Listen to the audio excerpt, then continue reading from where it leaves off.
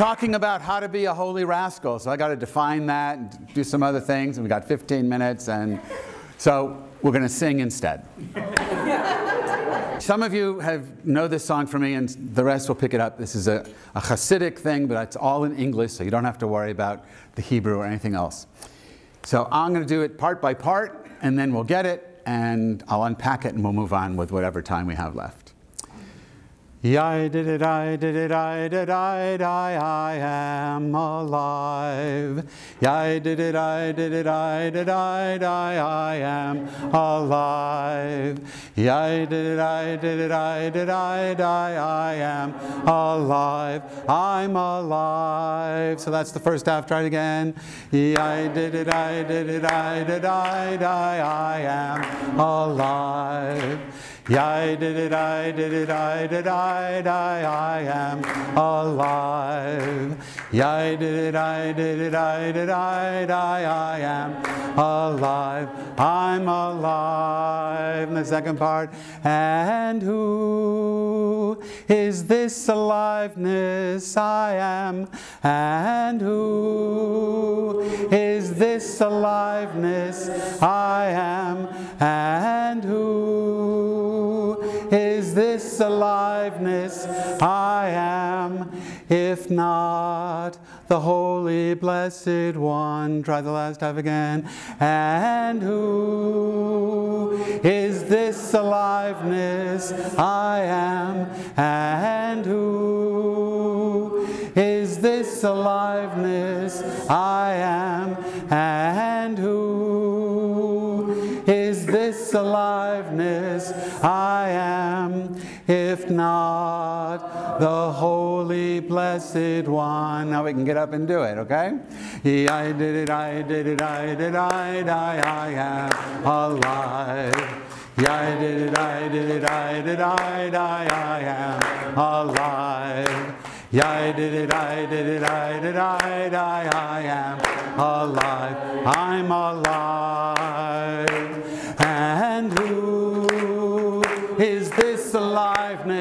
I am? And who is this aliveness I am? And who is this aliveness I am? If not, the holy blessed one. I did it, I did it, I did it, I, am alive. I did it, I did it, I did it, I am alive. I did it, I did it, I did, I, I, I am alive. I'm alive. And who is this aliveness I am? And who is this aliveness I am? And who is this aliveness I am? If not, the holy blessed one. Reverb. Okay, thank you very much. So let's unpack that. Rabbis, did anybody know, because that, that's English, David Zeller, who did, do you know the original? Is it the Chernobyl Rebbe? Some, anyone know this song? Because I can give the, no, okay. It's a Hasidic song, take my word for it. Uh, let's unpack it. So you start out with, I'm alive. I mean, how amazing is that? What the Buddhists call this precious incarnation. Three, 13.8 billion years it took to get you here. So congratulations, you made it. so you want to celebrate that. I'm alive. So, you know, so then, then you say, well, okay, so what is this aliveness? Who am I? Well, first, I'm a male and I'm Jewish and I'm liberal and I've got all these labels. You know, I'm a dad and a, and a husband and I have a dog, so I'm, you know, keeper of the dog and all that stuff. you have all these labels. And we tend to identify with those as if they were really us. So then the song goes on and says, and who is this aliveness I am? I'm not those labels. Before I am a Jew, I'm something else. Before I'm a human, I'm something else. What that something else is, we can't say. Because like Lao Tzu says, if you can say it, it ain't it. That's a modern translation of the first line of the Tao Te Ching. right? What he actually said was Dongji Gangod. But, but I, I made that up. so you've got to like recognize the fact that we aren't who we think we are. And to me, the heart of interspirituality is getting to that place of not being labeled. No costumes, no, no, no theologies, no identifying characteristics, simply falling into this place of absolute love, like Father Matthew was talking about. I love calling him Father Matthew. And I do. I do. He worked hard for that. Falling into this place of love, and we're going to talk more about that in the breakout session and what that really means. But, it, but fundamentally, it means being stripped naked of all of these labels. So, who am I? Who is this aliveness I am? And then the song gives us another concept, so we have to live with that. It's the holy blessed one, that ultimate reality that's now carved in stone in the eight agreements. Uh, that, that at the next conference we intend to break a la Moses, right? And shatter those agreements and be free once again. so, a holy rascal is someone who shatters the, the, tablets. A holy rascal is someone who says, you know what our problem is? Our problem is not that all the religions don't get along. That's also a problem. But the real problem is you think there are religions. The real problem is you drag, you know, the technical term is schlep. You schlep your labels around with you everywhere you go. And then you use them, I'm the Jew. You know, so you get the hat, I'm the Jewish guy. And you can tell there's different kinds of hats for different kinds of Jews. And he's the rainbow Jewish guy, and he's the uh, black hat guy, and you know, Father, Ted. So Rabbi Ted's got another hat. So we have all these labels that we, we, we walk around like billboards for systems of thought that fundamentally, that are fundamentally false. They point toward something, least that was the original idea, in Zen terms, the finger pointing toward the moon, but eventually they just start to point back to themselves. And once the finger starts to point back to itself, when you're dealing with other people, you simply have to give them the finger. Because that's all you've got. so we're beyond that stage, right? But what I want are, are holy rascals, people who are out in the world, subversive, secret agents for the, for the ineffable, whose job it is is not to more humanely explain the meme with which, into which they were born or, or they chose to, to, to, join. A lot of us are, are sort of hyphenated, what, what, do you call it, multiple belonging? Yeah? So I tried that with my wife, she didn't buy that. but it works with God. God doesn't seem to care. You know, but not, not the God of the Bible, though. That's a jealous God, but like my wife. But I want someone who's going to go in and, like Toto, in, Toto is, is one of the, the patron saints of the Holy Rascals. Toto, Dorothy's dog Toto in The Wizard of Oz. You know, they go to see the wizard, I am the great and terrible Wizard of Oz, and they're scared shitless. Right? Can you say that on? Yes, this is TV. So they're scared out of their minds. And then Toto goes up and pulls the curtain back, and you see what is always behind the curtain a little man, it's almost always a man, with a big megaphone to compensate for being a little man. And that's the revelation that the holy rascal brings. Not something from God, but just pulling the curtain back on the people who say they are God or know God or have God in a box. Another of our patron saints is the little kid who, tells the, the, who shouts out to the crowd, the emperor has no clothes. Same idea. That's what I want. That's what I'm here to recruit. So I want, I want to recruit people to, to be subversives. And I actually have a task for those who are willing to do it. I'm going to hand this out now. And so you can, you can help me out. Everyone take a card and you can give them back to me if you don't want to do this. I'm, I won't be offended. So we're getting these little, little uh, business card kind of things. And I'm going to read this, and then I'm going to tell you what I want you to do with it. And if, again, if you don't want to do it, just give them back to me. Don't throw them away. Or if you know someone who would do it, give it to them and let them get in trouble.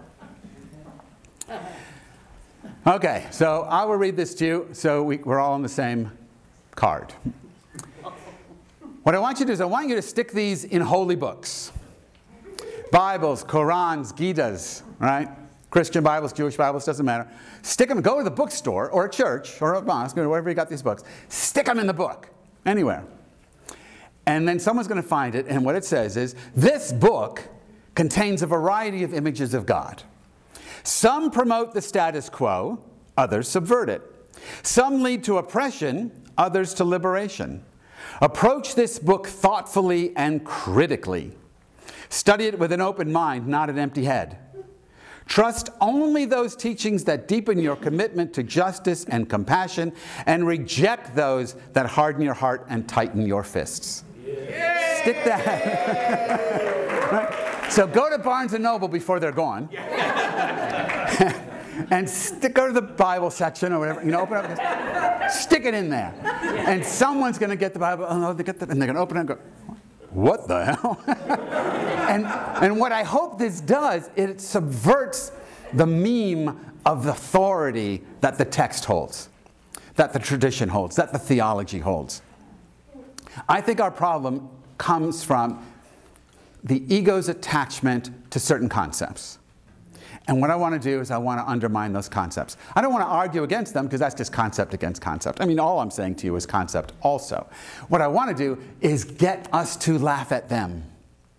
The biggest threat to religious authority is laughter. Anyone see the movie or read the book Name of the Rose by Umberto Eco? Yes. So, what was the problem in that book? The problem in that book was the monks were going into the stacks and they were reading a, a lost, supposedly, lost treatise of Aristotle where about humor.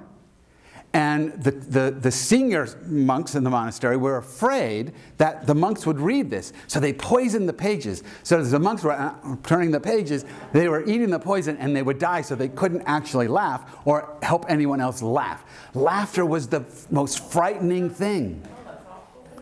I know, but, but, it's, but oh, it's sad, but it's true because if you laugh at your religion, I don't mean, you know, uh, scoff, that's, that's something else. I don't mean mock, that's something else. I mean see it and, and be able to laugh at, at what's being taught in some, some in, intense joy that just frees you from it. I don't know if that makes any sense. But you know, religion doesn't like laughter. You can't go to a synagogue unless the rabbi is telling a joke, and then you better laugh. But if, if you just can't go in there and laugh at stuff, it doesn't work. I mean, you can't go to communion, which I think is one of the most intimate things you could possibly do with a God, eat the God, right? and I mean, most people don't let me take their bodies into my mouth. I know, I've tried. and yet Jesus doesn't mind. It's cool. How intimate is that? That's so amazing. That should make you laugh, but it doesn't. It's like body of Christ, blood of Christ. It's like it's not solemn. It should be body of Christ. Whoa! It should blow your mind. But the mind is trapped in these memes, and that's what, that's what this card is. One of the things that holy rascals, I want them to do, put those cards, put those cards in. So I could repeat myself. I'm not going to do it. So you get the idea. You get the idea. We're going to go into it more deeply if, uh, if you're interested, if you come to the breakout. So we're going to go back and do the best thing we can do, which is to sing. We have one minute left. See, we had the 10 minute card, the five minute card, the three minute card. You ignored them all, and you just gave me the one minute card. is it too heavy? What's the problem? You good? All right. I did it, I did it, I did it, I, I, I am alive. I did it, I did it, I did it, I, I, I am alive. I did it, I did it, I did it, I, I, am alive. I'm alive. So now sing it to each other. And who is this aliveness I am? Make contact with other aliveness. Is this aliveness I am. Turn the camera around. Watch them. Is this aliveness I am? if not the Holy Blessed One. I did it, I did it, I did it, I, am alive. I did it, I did it, I did it, I, am alive. I did it, I did it, I, did it, I am alive. I'm alive. And who is this aliveness I am? And who Is this aliveness I am? And who is this aliveness I am? If not the holy, blessed one. Thank you. All right, so how do we take this lesson and turn it on ourselves here? How do we, how do we take a look at ourselves here at this conference and, and laugh at ourselves? I don't know, Tim. How? you get in trouble. Why do I just got? I don't know. I mean, I, honestly, this is a heavy conference. There's a lot of heavy stuff happening, not a lot of laughter. So I don't. I don't know. I don't know. Maybe. Maybe it's too early to do. I don't know.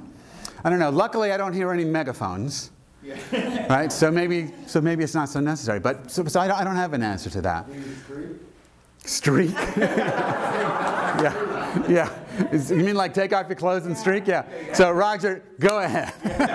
because here's here's why, Roger. Because we're trying to be without labels, but if I get naked, the label is right there on my penis. Yeah. It's like I can't get rid of it. But you don't have that. So, no, you have a penis. I didn't mean that. But, you know. I didn't know we were that intimate,